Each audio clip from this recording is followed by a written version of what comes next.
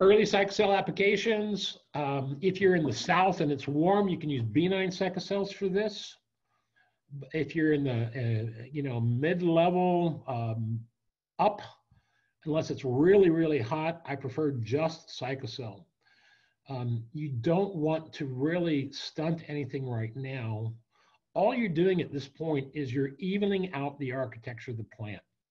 Spray, uh, PGR sprays, particularly both cycocel and B-Nine, enter through the foliage and they affect the shoots that are more dominant um, more than the ones that aren't. So by doing this light sprays over top of the stage, the, the shoots that are becoming more powerful, they have more leaf surface, so they're getting more PGR effect. That allows the smaller shoots to catch up. So you never want to do any kind of drench this early. And even I'm not a fan of using Bonzi as a spray this early because it will go into the stems and will affect proximity. Whereas the B-Nine cycocel, if you light light spray over the top, it's just going to drift down and affect the leaves it touches. And again, what we're doing here is not controlling the height, we're controlling the architecture of the plant. And just to mention, you know, when you talk about light, uh, a light spray, volume becomes a, a, situation here. So we're talking about spraying glisten, right? We're not talking about right. dripping stuff down.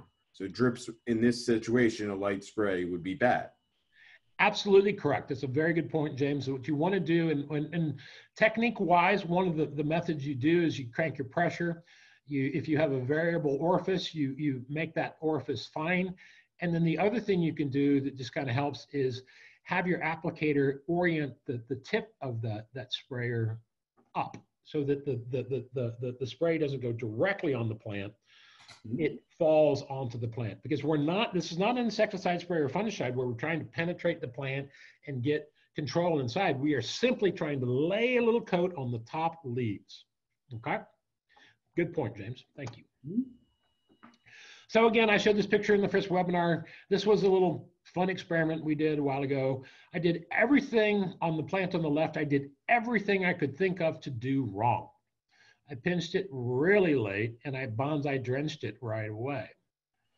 The plant on the right was pinched on time and used um, uh, some cycocel applications to make it nice and even. But this is what you what you're trying to achieve. You the market expects the bracts on top of the plant, and now is the time. This very early PGRs and pinches is where we have the most influence on that presentation of bracts on top.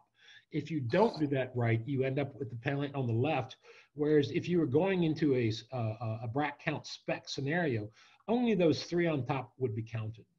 So that's why it's so important right now in these early stages in the pinch crop to get this pinching and early PGRs just right.